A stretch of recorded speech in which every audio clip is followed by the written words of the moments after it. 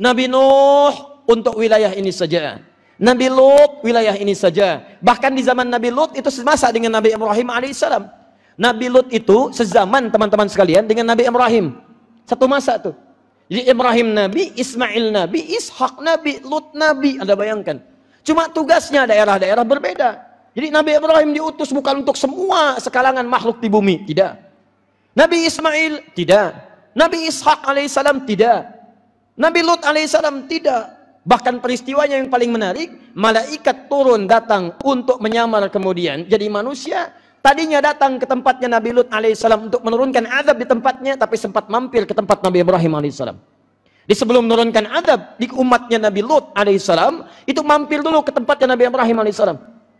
Ini menunjukkan bahwa di satu masa itu bukan hanya hidup satu nabi, tapi hidup beberapa nabi dengan tugas-tugas yang berbeda. Kalau kekinian, ini daerahnya Jakarta Garden. Nah, ini daerahnya yang ini. Jadi khusus spesifik aja di situ. Nggak bisa pindah. Kayak Nabi Isa alaihissalam tugasnya hanya sekitaran Palestina saja. Nggak boleh keluar. Makanya kalau ada orang mengaku umat Nabi Isa lewat dari Palestina, ah itu kejauhan. Kejauhan ya. Nah, karena tempatnya sekitaran itu saja. Nah, wah itu Masya Allah. Nabi Muhammad tidak. Nabi Muhammad ketika diutus tidak ada masa batasan di dalamnya. Anda bayangkan. Saking pentingnya misi ini, Allah memberikan satu misi yang tidak ada batas, tidak sekat dengan sekat perkampungan, tidak disekat dengan RT, tidak disekat dengan RW, tidak dengan suku, tidak dengan negara. Semua masa, bahkan setiap masa berganti, tetap risalahnya berlaku untuk risalah Muhammad sallallahu alaihi wasallam. Pertanyaannya, apa yang penting di balik risalah ini sampai beliau kemudian diutus dengan istimewa untuk seluruh umat sampai dengan kiamat? Selesai, tuntas, kembali kepada Allah. Baru misinya kemudian dihadapkan jawabannya di hadapan Allah Subhanahu wa taala. Teman-teman pertama kata Allah tidaklah saya berikan misi yang istimewa ini kecuali misi pertamanya sebagai rahmat untuk seluruh alam. Tujuh. Markibong mari kita bongkar semua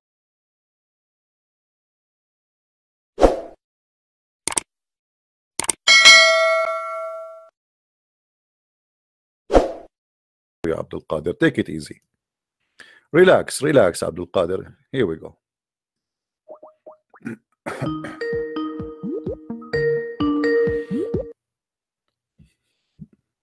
Hello? fucking nigger fucking Here we go.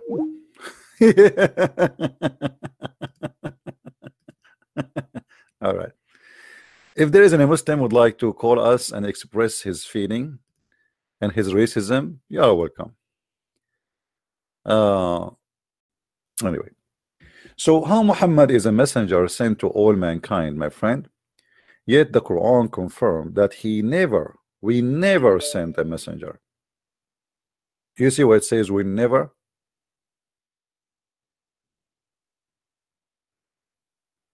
We never send a messenger.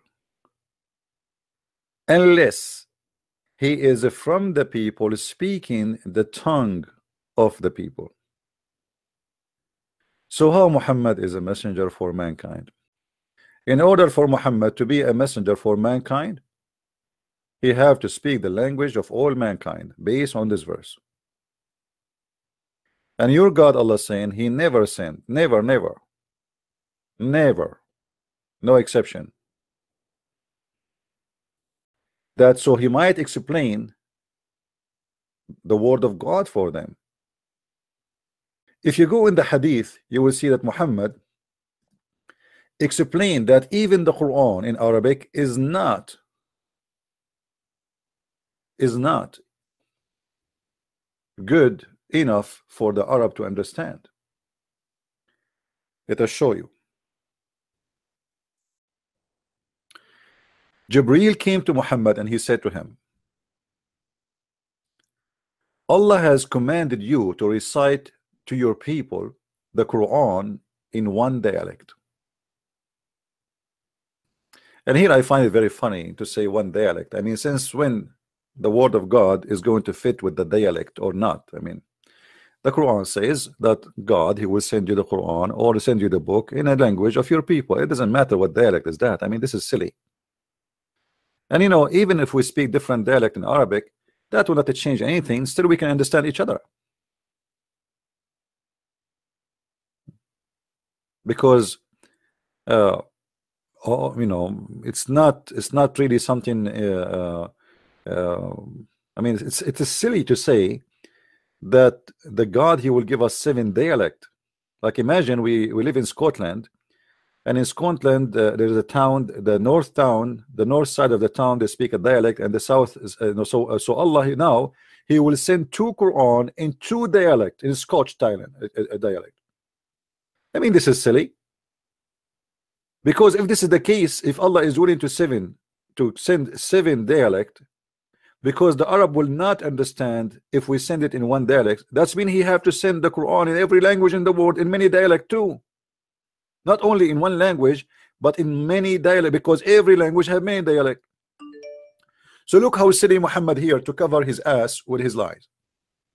So he said the angel came to me and he said to me Allah command you to recite the Quran to your people in one dialect upon he upon this he said which means Muhammad I ask Allah burden and forgiveness. My people are not capable of doing it so what we understand here that the Quran in one dialect is not good enough. Is not good enough. Good enough for what? To the people. People will not be able to understood it. Will not be able to maybe to recite it to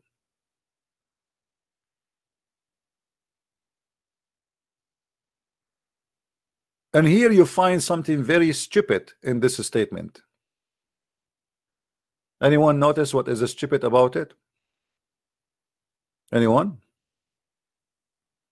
There is something very very very funny and very silly and very stupid. And this story does not even fit for for a six years old child.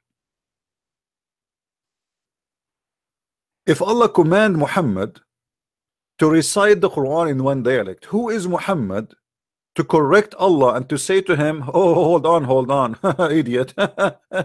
Habibi Habibi my people are stupid my people. My people are stupid brother. They cannot do it in one dialect. Are you kidding me? If Allah command Muhammad to recite the Quran in one dialect, who is Muhammad to correct the decision of Allah?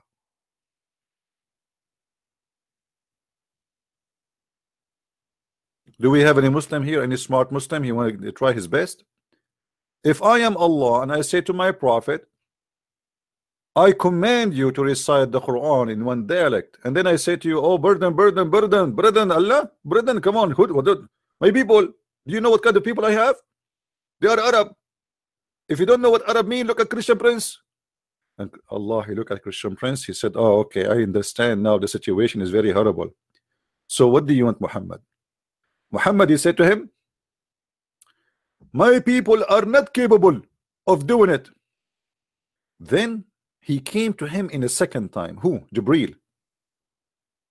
Jibril is a pizza guy. And said Allah has commanded you that you should recite the Quran to your people into dialect aha! So the request of the Prophet Muhammad is approved now we have two Quran Muhammad he looked at the angel and he said to him I seek burden. I don't have time. I'm going to repeat myself to this God. Allah, He's stupid. He is not getting it yet. I seek burden and forgiveness from Allah. My people will not be able to do so. I mean, hello. I mean, how many times I need to repeat to you? I mean, are really, really getting my nerve now. Angel Jibril, go back to Allah and tell him the following. Prophet Muhammad, he just told you before in the previous message that my people are not capable to do so. And now you are giving me to Quran. And again I say to you, my people are not capable to do so. the angel Jibril. He is just a pizza guy. He do delivery. He don't discuss. You know, he have no not no business to do in this fight. You know, he's just between. You know, the real estate agent. So Jibril, he put his tail between his legs and he went back to Allah. And he told him what Muhammad said to him. And Jibril came back for the third time and said, Allah has commanded you to recite the Quran in three dialect. And now Muhammad supported Shusham. Hey, three dialect, not one dialect. We have three Quran. Muhammad is still not happy. And he was like hitting his head. Unbelievable. What I will do now with strong with stupid God. I mean, Jibril. Habibi Jibril. Sit down, Habibi. Sit down. I want to Jibril to go back to Allah. Please say to Allah that uh, my people cannot do it. I mean, what's wrong with you? My people are not capable of doing it. Jibril, he was shocked. I mean, what kind of people those people? Why uh, Isa Uh, did not say that? Why Musa did not say that? Why Abraham did not say that? Why Noah did not say that? Why only Muhammad saying that my people are not capable? We need seven Quran. Seven Quran, brother. So the angel, again, he put his tail between his legs and he go back to Allah.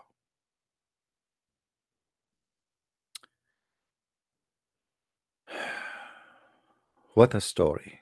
I mean, I like a drama. All Middle Eastern, you know, we, we have the same nature of Indian, you know, uh, uh, um, you know, or uh, even Mexican. We, we are close and uh, we are very emotional people. We watch a movie and we start crying. the Prophet is asking Allah burden for the third time, and Allah is not getting it. Put yourself in the shoes of the Prophet now. How you feel? I mean, how you feel that you have a God is stupid. How many times I need to tell him that my people are not capable of doing it? And yet he keeps sending me the messenger that the Jibril once after once. And then Muhammad he said to him again, I ask burden and forgiveness. Again from Allah my people could would not be able to do it then he come to him in the fourth time. I mean, how you feel to be Jibril in that day? Jibril like whiz, whiz, whiz, whiz, whiz, whiz, whizz. It's like little boy going between Muhammad and Allah. I mean, why Allah don't speak to Muhammad and finish this story? Muhammad is the greatest prophet, but his God don't want to talk to him. Don't you notice with me, Muslims? Why Allah don't inspire Muhammad and tell him what he want and that's it? And why your God do not know what Muhammad want and need and that's it? You Muslim, you say to us that Allah is all knowledgeable. Don't Allah knows that first time he sent the angel is not enough, second time is not enough, third time is not enough, third, fourth time is not enough, fifth time is not enough, sixth time is not enough.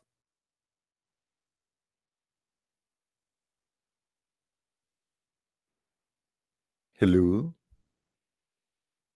Hello. I am really impressed with the knowledge of your God.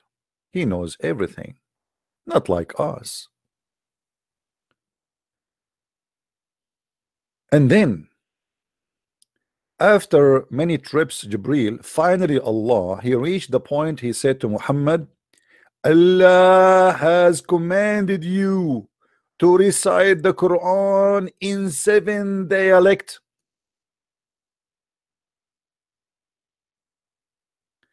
And not only that, and not only that, not only seven dialect. Look what he said at the end. And in whichever dialect they would recite, they would be right.